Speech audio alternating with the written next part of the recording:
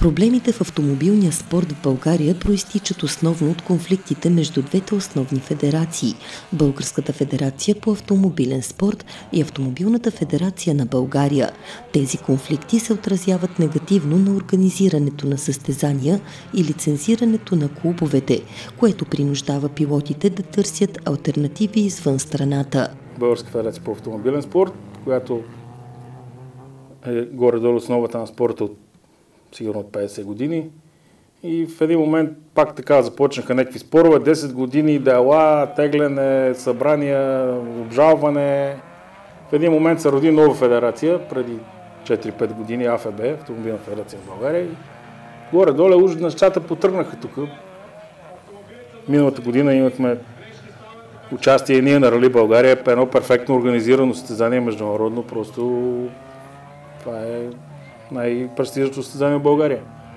И общо взето беше всичко на ниво и в крайна сметка пак се появиха някакви дела, обжалвания, тегляне и лиценза. В момента, доколкото знам, е в Министерството на спорта. И трябва да се вземе решение на коя от двете федерации се даде, която отговаря по закон. А по закон отговаря за мен АФБ, понеже притежават лиценза на ФИА международния лиценз. Той, той фактически е притежание на СБА, обаче СБА са да, делегирали лиценза на, на АФБ, за да организират нали, състезания, занимават с спорт и в един момент лиценза в Министерството и ние записваме за първ път от не знам колко сигурно никога не, до сега не помня да е имал, нулев сезон. България. А липсата на разбирателство между федерациите народна почва принуждава пилотите да участват в спортни прояви извън граница.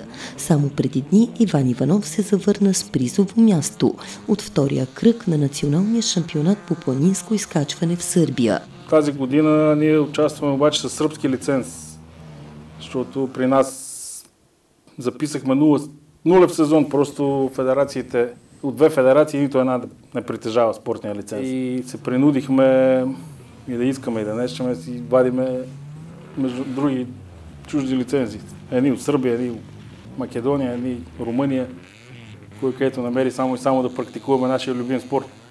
Защото иначе, ако останеш поне една година нищо да не правиш, после подготовката трябва много подготовка за следващите състезания. Тук при нас постоянно трябва тренировки и, и така. Изминалата събота и неделя имаше на планинско Тара. Това е на Байна Баща града. Връх Тара, планината Тара. Това е национален парк там, мисля, че беше. И имаше 70 екипажа, като тук от Албания, Босна и Херцеговина, мисля, че имаше от Сърбия и ние от България. Бяха към 9 човека българи, може би, някъде. И така, много конкуренция, много готино състезание, 4 км 200 трасето. Записахме трето време в Успяхме да се качиме на подиума. Автомобилният спорт е скъпо удоволствие, за което се изисква финансова подкрепа от страна на спонсори, казва Иван Иванов. Ако е лицензиран клуба и си отговаря по закон, има си наредба на общината, ако отговаряме по тази наредба и по закони, имаме лиценз и така нататък, общината помага, нали? имаме субсидии някакви, зависи от а, спортните постижения. Да. Иначе си търсиме спонсори сами, да си доглавиме, както се казва, а това си е, няма какво да стъкуваме. Това най-скъпия спорт за мен е една гума, даже в момента с новите цени, примерно от 17 гума, които караме ние, струва 560 евро една. Значи ти да караш този сезон, да участваш, примерно, рали сезона, да кажем 5 ралита, тебе ти трябват поне 5 меки гуми, 5 средни, 5 твърди и 5 мокри за дъжд. За всяка настилка си има различни смеси, според етапите. Това е минимума, като хората взимат по 10, не по 5.